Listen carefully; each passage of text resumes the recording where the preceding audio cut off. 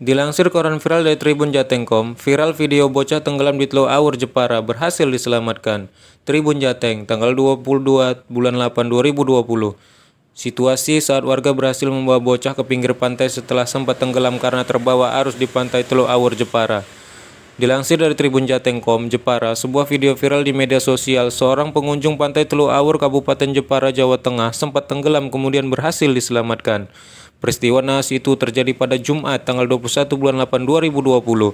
Dalam video berdurasi 28 detik itu terlihat seorang warga membopong anak yang diselamatkan. Salah seorang warga, Azam mengatakan peristiwa naas itu diatasi oleh warga sekitar.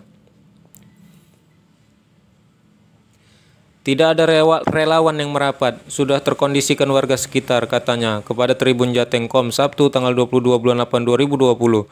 Berdasarkan informasi yang ia dapat, korban yang selamat itu berjenis kelamin laki-laki. Diketahui anak tersebut sedang berenang dan tiba-tiba terbawa arus. Beruntung ada salah seorang yang sigap memberi pertolongan, sehingga nyawa korban berhasil diselamatkan. Ia berasal dari desa Bulungan, Kecamatan Pakis Aji, Kabupaten Jepara. Oke, terima kasih. Semoga bermanfaat. Jangan lupa like and subscribe channel ini. Tanpa kalian channel ini tidak berarti apa-apa.